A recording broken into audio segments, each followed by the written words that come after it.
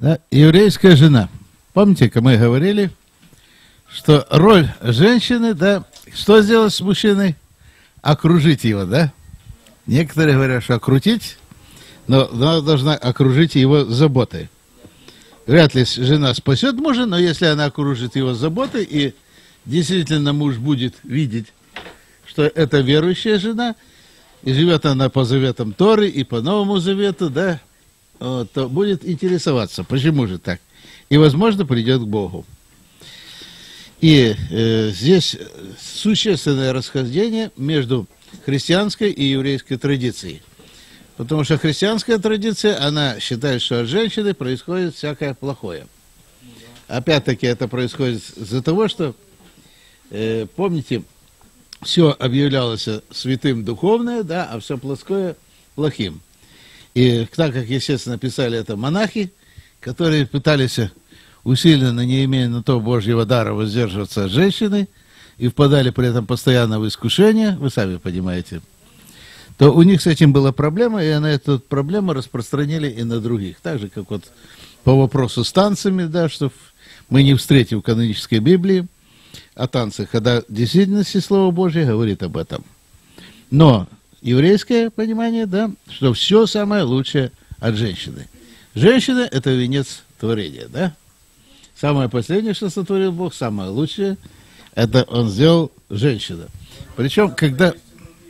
Да. Вот. Когда, и, э, видите, да, Бог творил все э, живые существа, да, Он только говорил какое-то слово, и Он как бы в этом сам Э, в физическом смысле не участвовал. Но когда Бог сотворил Адама, он что сделал его? Я царь. Сжал, да? Употребляется слово «я царь». Когда Бог сотворил женщину, там употребляется слово, которое можно перевести как «сконструировал». То есть мужчину он слепил, знаете, я леплю из пластилина, пластилин прочнее, чем глина, я леплю из пластилина кукол, клоуну, собак. Если кукла выйдет плохо, назову ее дурехой, если дом выйдет плохо, назову его дурак. Но женщину он не просто лепил, а женщину сконструировал. То есть занимался специально этим вопросом, да. Вот. Значит, э, знаете замечательный псалом, посвященный женщине, это 31 глава притч, да? Человек, которому Всевышний уготовил хорошую жену, никогда не будет ни в чем испытывать недостатка, даже если он бедняк. Вы помните, мы можем быть бедными, но мы ничто, не должны страдать от бедности, да?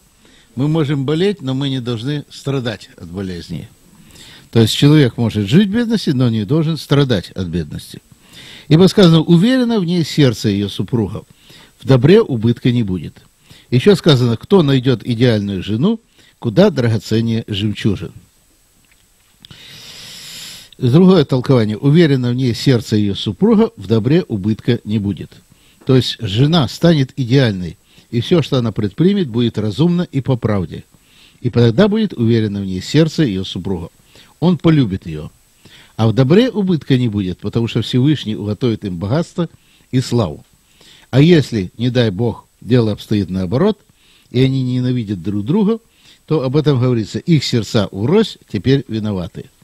Помните, есть прекрасная такая притча – о том, что два ангела идут в субботу и смотрят на то, как живут еврейские семьи.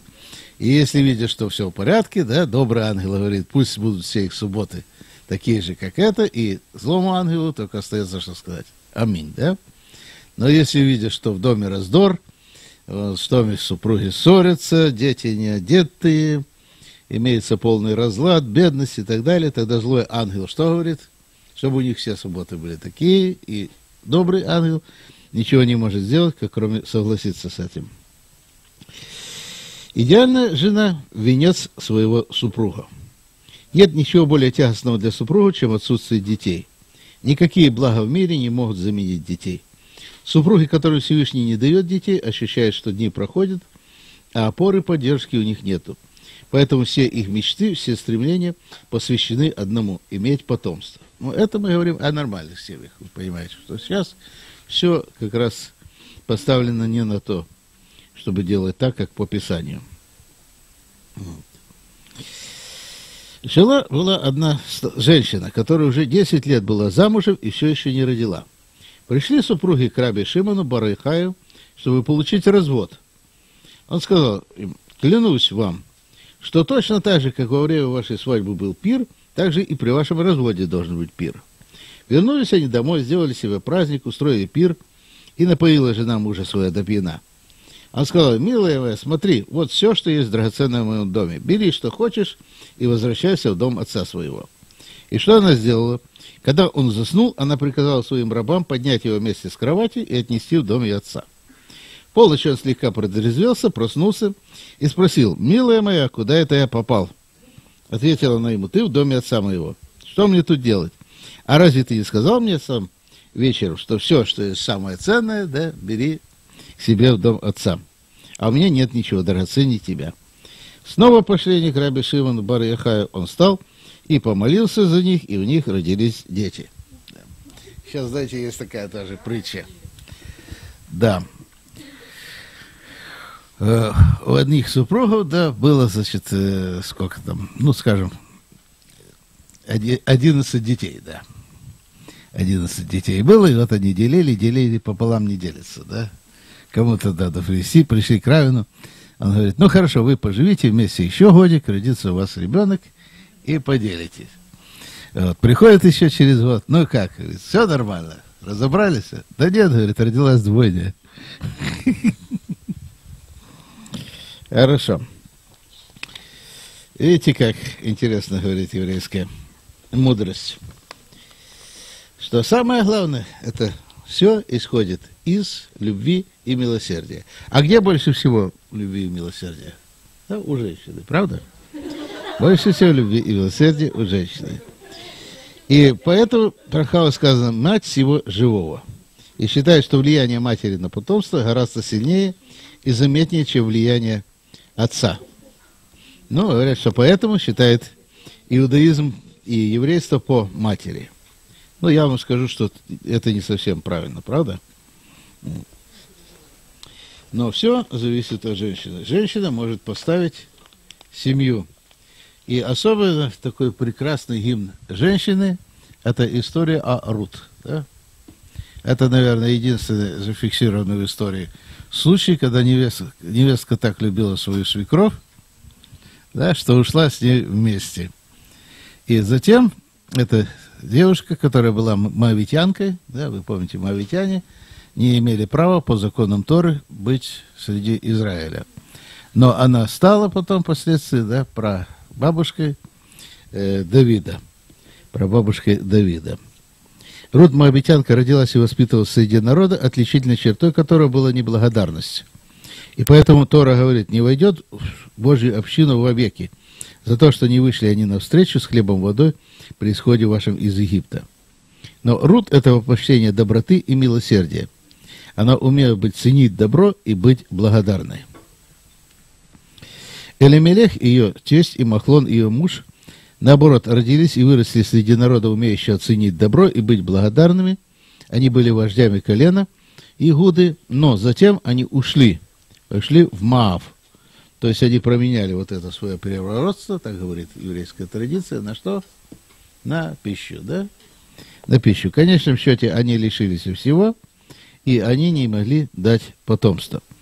Бас из Бейтлехема, Бас, это помните, сила переводится, да, Боас, в силе, в силе, да. И Рут Моавитянка, вот тот, кто строили дом Израиля и учредили царство Давида, которое останется навеки. Поэтому Рут названа в еврейских мидрашах матерью царей. Упоминаются выдающиеся женщины-пророчицы, женщины-судьи. Помните, Мирьям, сестра Моисея, да, да, и Аарона. И э, Дебора, Двора, пророчица упоминается. Они разумно управляли народом, и народ относился к словно к своим детям. Помните, когда Мирьям умерла, да, то люди плакали. Весь народ плакал. И говорят, был колодец Мирьям, откуда люди получали каждый день воду. А затем уже Маше пришлось добывать воду из камня. Так как он отучился за 40 лет хождения в пустыне это делать, то возникли определенные проблемы, вы помните, у Моисея. Когда Аман задумал истребить всех евреев, в один день во всех 127 странах, подвластных царю Ахашвирошу, тогда спасение народу принесла женщина, да, Эстер. И это прообраз того, что спасение народу через кого? Через женщину, да, через жену. Как сказано в Новом Завете. Видите, женщина и жена в Новом Завете вы читаете, да? И подразумевается в одном мысли как э, существо женского пола женщина, да? В другом случае, как жена в социальном положении. Вот. Было э, в э, апокрифическом э, в апокрифических произведениях еще одна женщина, Егудит, или, как ее называют, Юдиф, да, помните?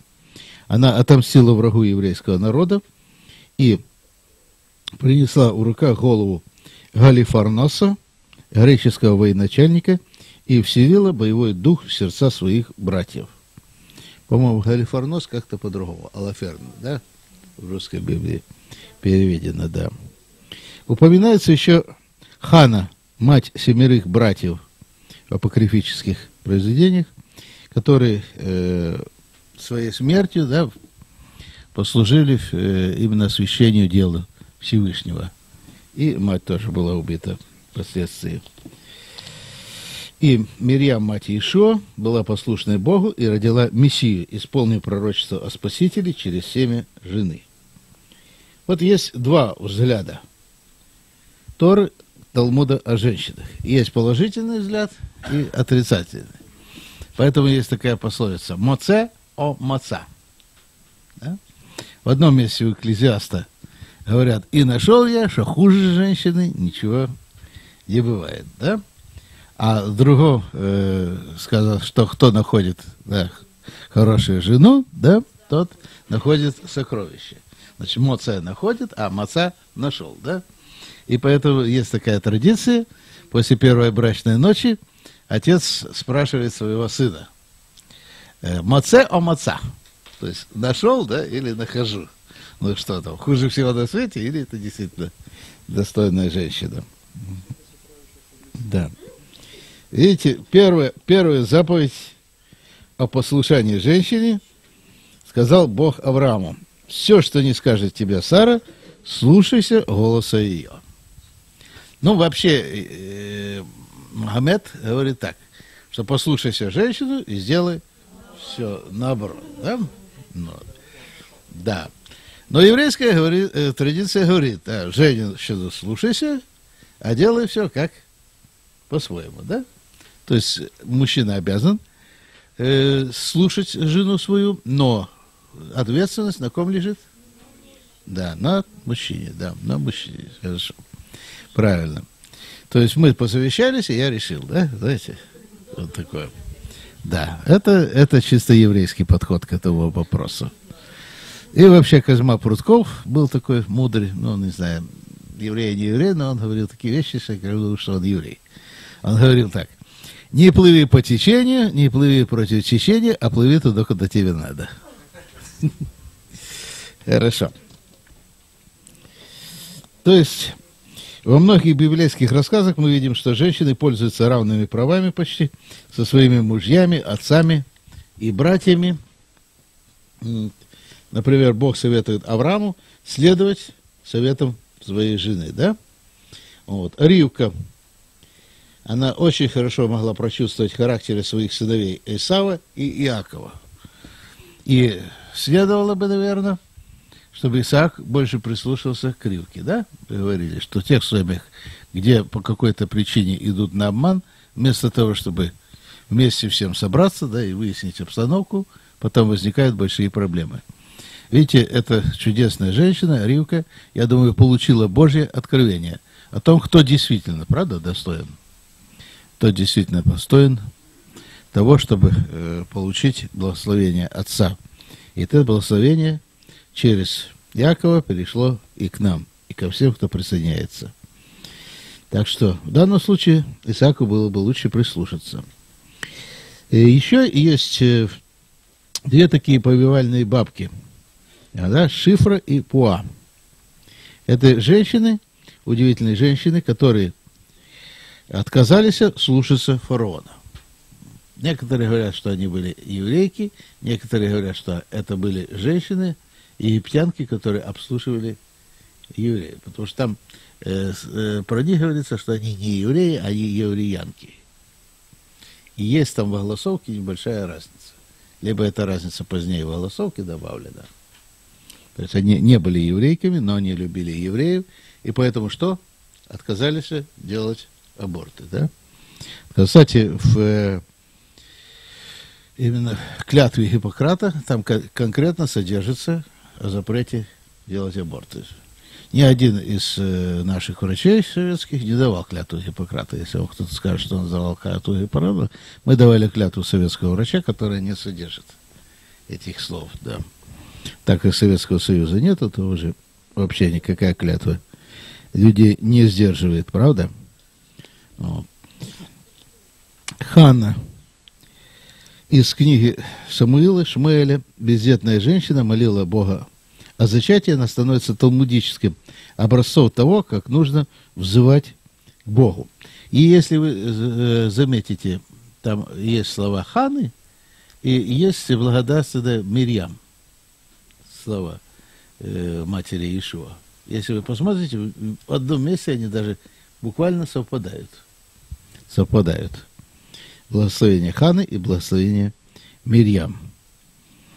И Хана получила ответ, что у нее родится сын, да, будущий судья Шмуэль. Но есть и негативные высказывания. В основном это уже равено более позднего времени, после разрушения храма. Вы понимаете, люди ожесточаются, правда же? Вот они как говорят. В чем обязанность женщины? В том, чтобы привести детей, учиться в синагогу, позволить мужу учиться в бейт Мидраш и покорно ждать, пока они вернутся домой. Это Вавилонский Талмуд, Брахот 17а. Ну, в общем, как говорил Гитлер, Адольф Илоизович, да, женщина должна знать три К. Kirchen, Küchen, Kinder, да? То есть церковь Kirchen, Küchen, кухня и детей, Киндер. Но я думаю, что Адольф Илоизович не был Божьим пророком а с точностью да наоборот, правда? Мы видим и самопожертвование некоторых женщин. Например, жена Раби Акивы. Помните, что Раби Акива, он женился, да, в 40 лет ему было, он был простой крестьянин, и его жена, она заставила его учиться, да, и он шел вместе со своим сыном в Хедер и в Бейт Мидраш, и что, и учил, начинал учить буквы, да, и таким образом, впоследствии он стал великим мудрецом. Да? Раби Акива прожил, да, прожил 120 лет. Говорят, что он учился 12 лет, а потом вернулся домой, его жена послала еще учиться, и он еще 12 лет учился. Правда, не знаю, как у них таким образом пятеро детей возникло. Но, да, но каждые каникулы приезжал домой, и, говорят, эта женщина, даже когда они жили в бедности, продала свои волосы, для того, чтобы оплатить. Ну, волосы до поры, кстати, у нас тоже иногда объявления висят, что продают. То есть вот такие, такие да, примеры самопожертвования женщин. Раби Акива говорил, кто богат, тот, кому приятны поступки его жены. При этом он имел в виду свою собственную жену. Но есть и другие вещи – то есть, например, Вавилонский Талмудский Душин говорит, женщины по характеру беспечны. Вот. Главный женовестник, жена-ненавистник из всех еврейских рабинов, это раби Элизер. Слышали о нем, да? Я вам говорил там, да. Вот раби Элизер говорил, что тот, кто учит свою дочь Торе, тут учит его распут, ее распутству. Одна дама попросила раби Элизера объяснить какую-то момент из Танаха. И он ответил, для женщины есть только одна мудрость – прясть шерсть. А его сын Хилкан сказал отцу, твой отказ объяснить ей одну фразу из Торы будет стоить мне подарка, три сотен кор десятины, которые она платила каждый год. Раби возразил, пусть Тора лучше загорит, чем ее слова будут доверены женщине. Видите, какой был деятель. Да. И вы знаете, что есть такая, да, э, есть э, такая молитва, да, Господи, благослови, э, благослови Ты Господь, что не создал меня не евреем, да, что Ты не создал меня женщиной и так далее. И вот э, что по этому говорит Раши. Помните, Раши, комментатор. Раби Игуда говорил, мужчина обязан каждый день произносить три благословения. Благословен ты, создавший меня евреем, а не язычником, создавший меня мужчиной, а не женщиной, и создавший меня тонким, а не грубым человеком. Один такое благословение произносил, и помните, что Ишуа сказал? А один говорил, благословен ты Господь, который меня сделал таким вот, да, тонким, а не грубым человеком. То есть грубый амхарец, что я не такой, как вот этот, который стоит рядом, да? А другой говорил только, Господи, спаси меня, да? Да. И кто оказался больше угодным Господу? Да, тот, кто просил о милости его, да? Вот. Раби Ага бен Яков однажды услышал, как его сын произнес, создавший меня тонким, а не грубным человеком, и сказал ему, и это тоже. То есть, благословение отражает его большую самонадеятельность. Тогда сын сказал, а что я должен говорить вместо этого? И отец ответил, спасибо, что ты не создал меня рабом. И с тех пор эти благословения так и закрепились, да? Что ты не создал меня женщиной, что ты не создал меня рабом, да, и что ты не создал меня не евреем. А разве раб не то же самое, что женщина? Спросил его сын. Раб более презираем. То есть, видите, то есть статус раба, он более презираемый. Женщина, женщина должна не только быть рабыней мужа, а как? Помощница своему, да? Помощница своему мужу, да. Э, Мишня Тора говорит о законах изучения Торы. Наши мудрецы завещали не учить дочерей Торы, ибо женщины в большинстве своем не способны сконцентрироваться на учебе из своей интеллектуальной бедности и превращают слова Торы в полнейшую чепуху. Я вам скажу, что мужчины тоже часто превращают слова Торы в полнейшую чепуху. О чем писал Петр, когда говорил, что Павел некоторые вещи говорит слишком сложно, да, вот, ну, потому что он такой образованный равен, и некоторые люди, не понимая его, что превращают эти слова, извращают эти слова, да, и превращают действительно что-то недостойное. Я пересказываю своими словами. Нельзя достойно женщине часто выходить из дома на улицу. Муж не должен позволять жене делать это. Она не должна выходить чаще, чем раз или два в месяц по необходимости. Ибо красота женщины должна сохраняться дома, в углу, разве не было сказано? Вся слава дочерей царской внутри. Это Мишна Тора, Рамбам. Рамбам Мишна Тора, да, законы брака. Женщина, отказывающаяся вступать с половую связь со своим мужем, называется мередет, то есть бунтовщица. Ее спрашивают о причине такого поведения – если она говорит, я нахожу его омерзительным и не могу заниматься с ним любовью по собственной воле, муж должен развестись с ней. Она не узник и не должна жить с тем, кого не может вынести, да. Вот. И Майонит в дальнейшем пишет, что мужа, который отказывается дать своей жене развод, надо сечь плетьми, покуда он не согласится. Мередет. Меред это что? Бунт, да, бунтовщик. А женщина женского рода, мередет, бунтовщица, утащица. Да.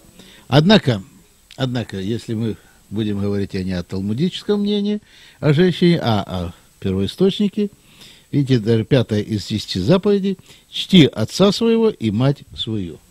Итак, отец и мать, они наравне, да, и их нужно посчитать одинаково. Это исход, 20 глава, 12 стих. И 19 глава, 3 стих. «Бойтесь каждой матери своей и отца своего». Что значит «бойтесь»? Вы помните, что здесь говорится о чем? Почитайте, да? Вы выказываете им глубочайшее уважение. Потому что э, слово «уважать» человека в Торе мы не найдем, да? Но если говорится «бойся», если жена боится мужа, да, то она должна почитать и уважать его. Мишлей. Это притчи 1.8. «Слушай, сын мой, наставление отца твоего, и не отказывайся от учения матери твоей». Видите, если говорится, что, мол, женщина не должна учить Торе, да, и не должна учить Тору, то в данном случае здесь употреблено в оригинале «не отказывайся от учения от Торы, матери твоей». То есть в оригинале написано, слово «учение» здесь переведено. Ну, это правильный тоже перевод, потому что Тора, вы помните, в каком-то месте, э, 118, 117 псалом, э, анализ в прошлом году делали, помните? Да. Значит, э, не отказывайся от Торы матери своей. То есть мать может учить детей Торе. И должна носить, да. Должна это делать. И э, поэтому, действительно, женщина должна также хорошо знать Тору, как и мужчина, но просто она не должна учить, поучать, допустим, публично, да, потому что в данном случае это ставит как бы выше положение женщины, чем мужчины. Это, когда говорится, э, апостол Павел говорится, о жене учить не позволяет, да, тут э, правильнее употребить слово поучать. Поучать жене не позволяет. Она не должна заниматься учением там каких-то вещах, да, быть равенным, но она обязана учить своих детей, да? Она обязана учить своей семье. И если мы помним Новый Завет, был такой Тима, да, Тимофей, у апостола Павла. И чем э, прославился этот Тимоша? Да, Тимочка, правильно. Чего же он прославился? Помните, у него были хорошая мама и бабушка. Ничего не сказано о его дедушке, ничего не сказано его папе, да? Но мама и бабушка учили его Слову Божьему, и благодаря этому через э, это проявился его дар, да? Проявился его дар. Дальше, Вавилонский Талмуд говорит, Всевышний, благословен он, дал женщинам более сильную интуицию, чем мужчинам. И еще такие случаи бывают, вы знаете, когда часто э, верующая женщина женится на неверующем мужчине, неверующий мужчина вер, на верующей женщине. Это нормально? Это ненормально. Ну, это не отвратительно, но это ненормально. Будут иметь определенные проблемы. Вот. Но все-таки практика показывает, что больше зависит от женщины. Однажды набожный человек женился на набожной женщине, не могли произвести на свет детей. Они решили, мы не приносим пользы Всевышнего благословен и развелись. Мужчина пошел и женился на нечестивой. Он решил, что он сделает ее верующей, да? А она сделала его нечестивцем. А женщина вышла замуж за нечестивца и сделала его праведником. Это доказывает, что в браке все зависит от женщины. Это комментарий Берешит Раба 17 дробь 7. То есть, какие же качества еврейской жены? Качества еврейской жены, они перечислены в 31 главе притч. Да? Помните, какие качества? Она красивая, она фотомодель, она учит э, Торы, да, она занимается бизнесом. Правда? Какие, какие качества? Такие качества? Нет? Давайте почитаем, да? Кто найдет добродетельную жену? Цена ее выше жемчугов. Уверена в ней сердце мужа ее, и он не останется без прибытка. Она воздает ему добром, а не злом во всей жизни, дни жизни своей. Итак, первое, что это женщина, которая создает что? Уверенность в сердце мужчины. Если сердце мужчины, если он женился, нет уверенности, то что?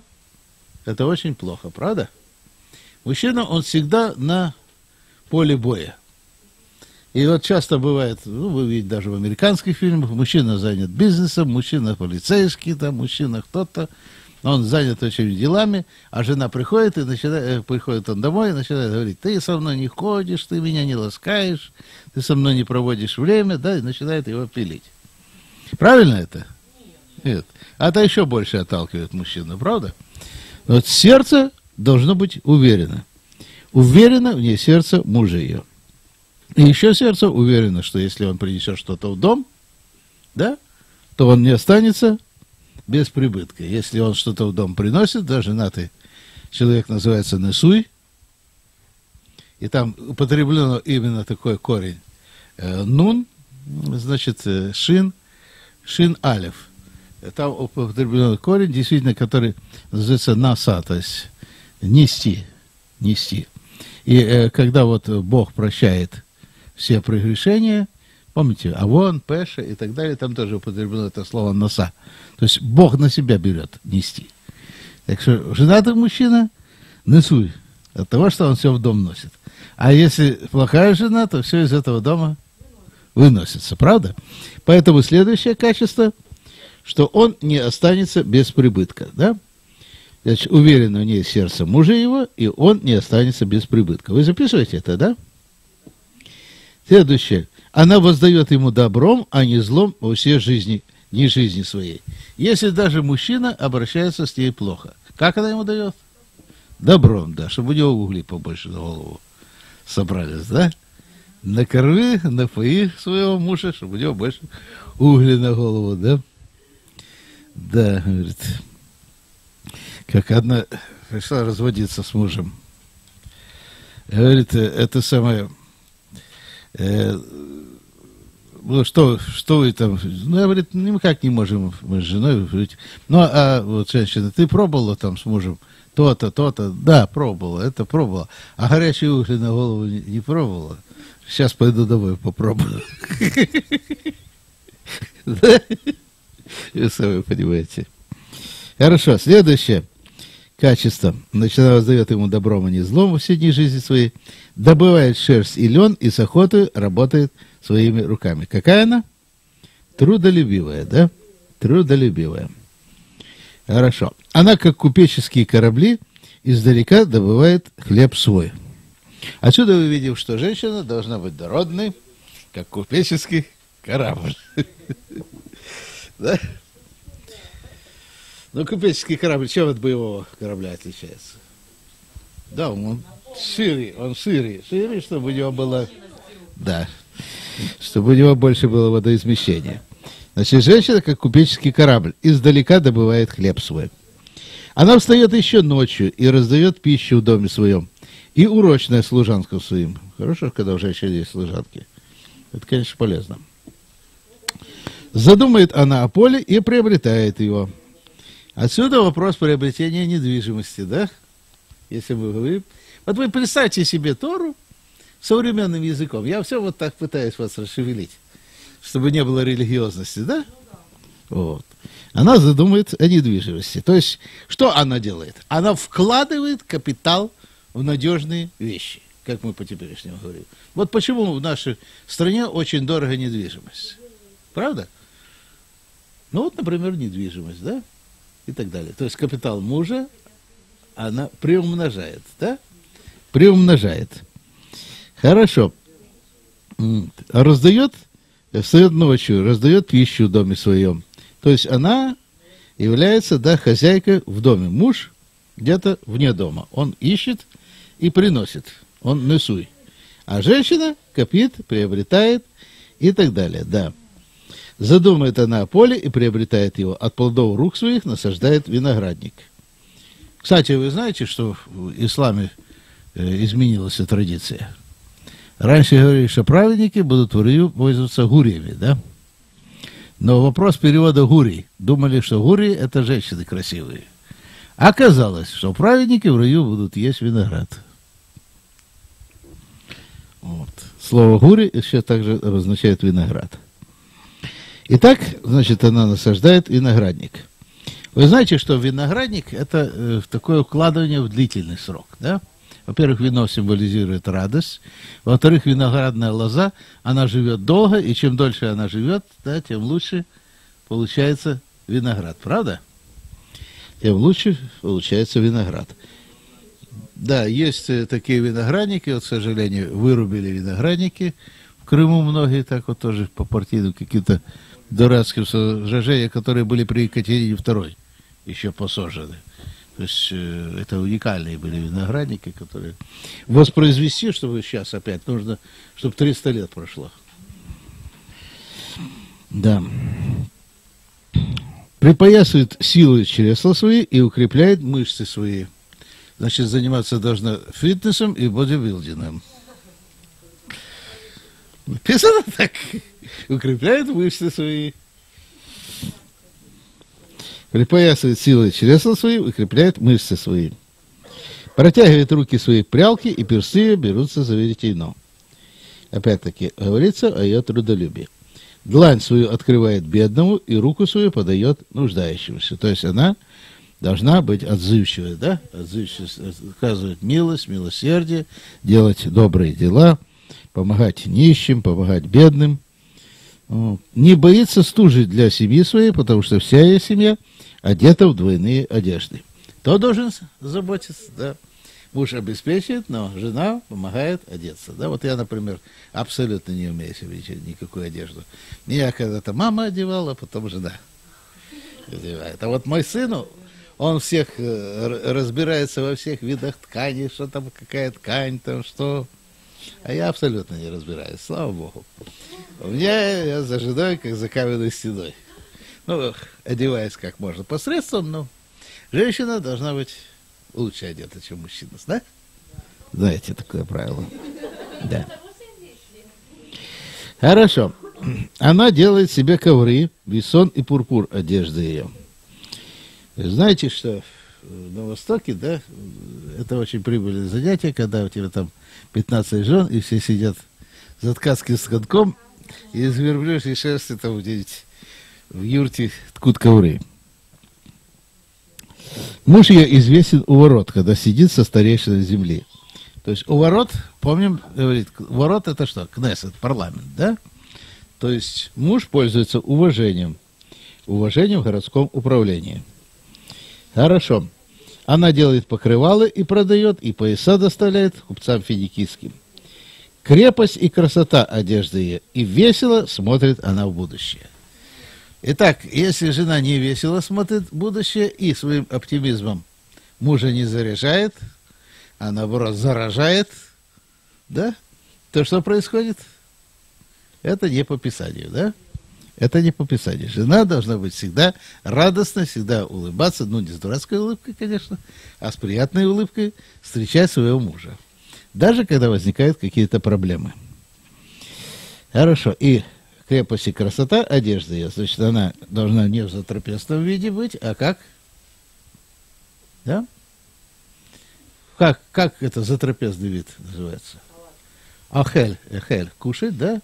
Поэтому затрапезный человек называется охламон. Охламон, да? Вот она должна выглядеть как, как охлавумен. Да?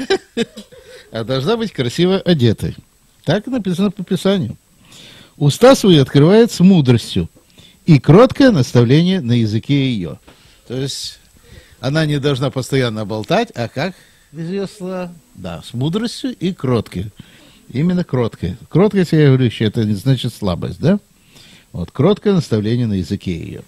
Она наблюдает за хозяйством в доме своем и не ест от хлеба праздности. Встают дети и ублажают ее. Муж хвалит ее. Это уже награда, да? Много было жен добродетельных, это не значит, что у него много было жен. Он смотрит на других женщин, да? Но говорит, что лучше тебя нету. Но ты превзошла их всех. И дальше говорится, миловидность обманчива и красота суетна. Все проходит, да? Но жена, боящаяся Господа, достойна похвалы. Итак, какое еще важное качество жены? Боящаяся Господа, да боящийся Господа. Дайте ей от плода рук ее, и да прославят ее у ворот дела ее. Еще жена сравнивается с царицей.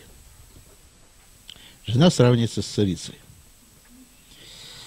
Жена твоя, как цветущий виноградник в стенах твоего дома, сыны твои, как саженцы олив вокруг твоего стола. Почему дети сравниваются с саженцами олив? Потому что, в отличие от других садовых деревьев, олива не принимает прививки ни от какого другого дерева и все саженцы, которые садают от него, его собственные, без всякой чужой примеси. Яблоко можно с там скрестить, там сливу с абрикосом, да? Но олива не прививает прививки ни от какого другого дерева. Только, да, значит, вот эти саженцы являются уже результатом самой оливы. Да. В Новом Завете сказано, что муж и дети освящаются верующей женой, то есть праведницей.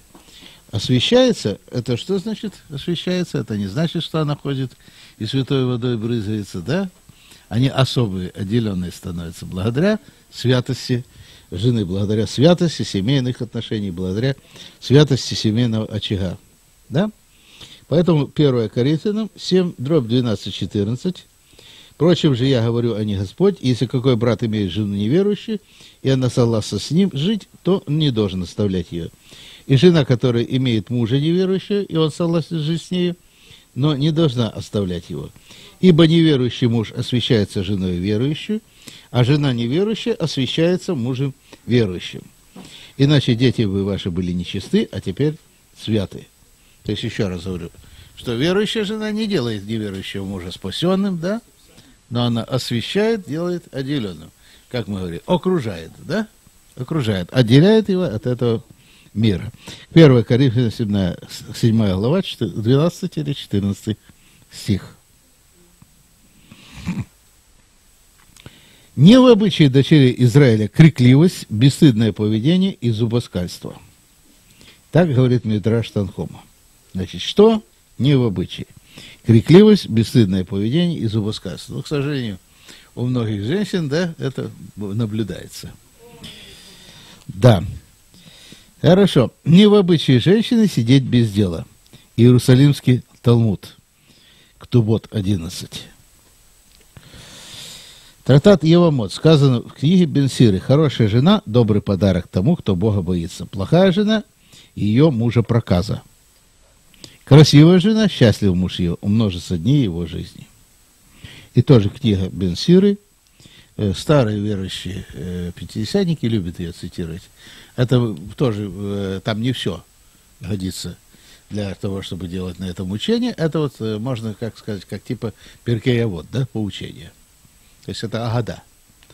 Это не галаха. Но там есть очень интересные высказывания. Любая боль, только бы не сердечная. Любое зло, только не злая жена.